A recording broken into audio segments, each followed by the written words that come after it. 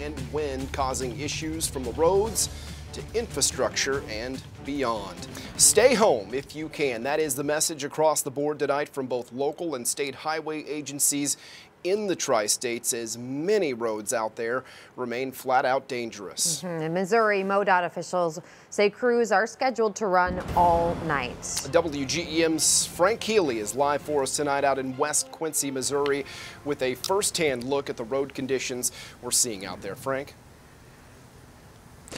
Dylan and McKenzie, if you look below me here, it looks like they've plowed a lot, and they have. But if you look out on the road, there's still a lot of snow packed down. Road crews here are telling me it's not just the snow, but the wind as well as the cold that they're dealing with tonight. Marion County Presiding Commissioner David Lomax says the snow itself is just one element of the problem for Marion County highway crews. Trying to keep their machines working is another. Diesel fuel tends to turn to jello, and the waxes that are dissolved in it tend to plug up your filters when it gets this cold. And uh, got to get, get them warmed up, get the fuel diluted down where they'll go out and they'll actually run again. Drivers like Bobby Lewis, who is out helping a family friend with a dead battery, say the roads range from rough to much worse.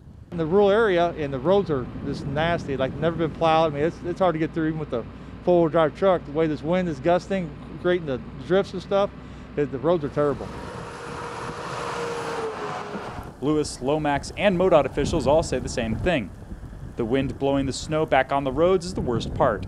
When, when the wind's blowing like this and when it's snowing pretty heavily, the road can turn to a condition that uh, even right after we've been over, it can look like uh, we hadn't been there. So uh, we have been out, we are out. Um, you know, crews are doing the best they can. MoDOT officials are asking for drivers to stay home to avoid winding up like this semi in Hannibal.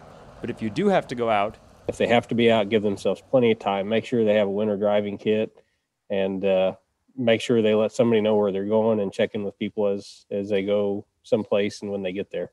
And Lewis says he made sure he had his kit. Emergency wise, I recommend that. You, know, you can say bottled water, stuff like that, but it frees up pretty quick. But definitely have something warm to keep yourself covered.